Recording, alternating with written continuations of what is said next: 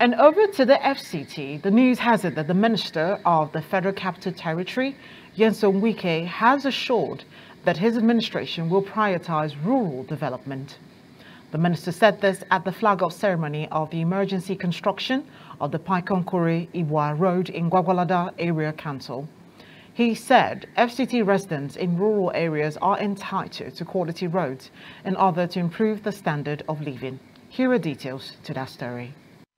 The Minister of the Federal Capital Territory, Barrister Nyesom Wike, kicked off a 9-kilometer road in Paiko Kore, which is part of a 30-kilometer road plan for the six area councils of the FCT. This is in line with the renewed hope mandate of President Bola Ahmed Tinubu. Barrister Wike, during the flag-off, assured that his administration will not only focus on the city center of Abuja, but also on the rural areas. According to him, providing efficient roads in rural areas will boost the economy and also improve standard of living living. And one of those things that must make them to be comfortable is to give them access to road.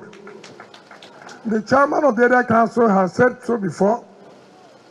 You cannot talk of fighting insecurity just only provide logistics and equipment to police. You fight insecurity when there's access to road. If there are no roads, all the equipment you may give to police comes to nothing. I'm sure with this nine kilometer road, it will go a long way to fight insecurity in this uh, area. Wike also appealed to the contractors to employ youths in each community to take part in the construction process so as to reduce unemployment and crime. At least for the period of this job, people here, the youth here will be employed. They will find something to feed their stomach they find something to feed their family. And that is the job of government to provide jobs.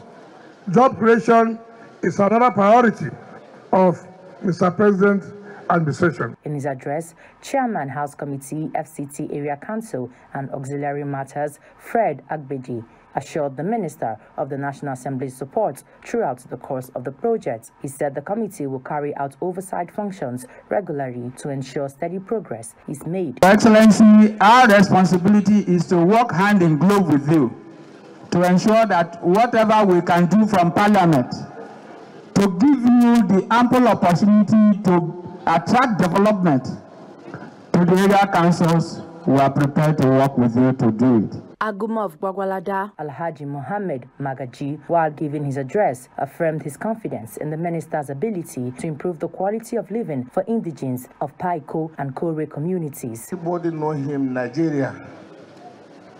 It's not Olo Abuja. When they say Mr. Project, it's the whole Nigeria. Meanwhile, Chairman Gwagwalada Area Council Abubakar Jibril Giri, while thanking the minister, said construction of quality roads will reduce the issue of insecurity in rural areas. The issue of insecurity is a major road we don't have. At least, even if there's anything happening in a village or in a bush, if you tell the security agencies, they will tell you there's no road to that place. Even if you provide vehicle, the vehicle cannot even reach where something is happening.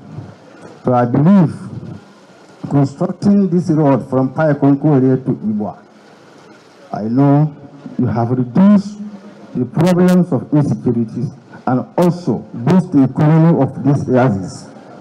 Some important personalities that were present at the flag-off include Minister of State, FCT, Mrs. Maria Mahmoud Bunkure, former senator representing FCT, Phillips Aduda, as well as several traditional rulers and stakeholders. From the nation's capital, Naomi Oleribe, ADBN News.